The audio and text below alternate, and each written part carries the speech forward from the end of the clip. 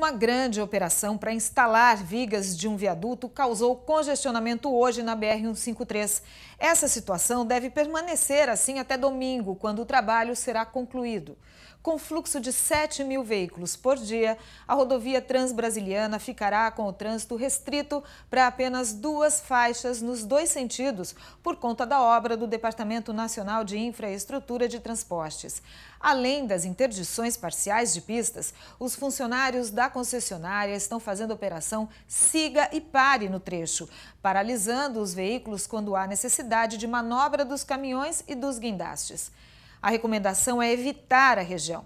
Caso não seja possível, opções de desvios por dentro da cidade estão sinalizados.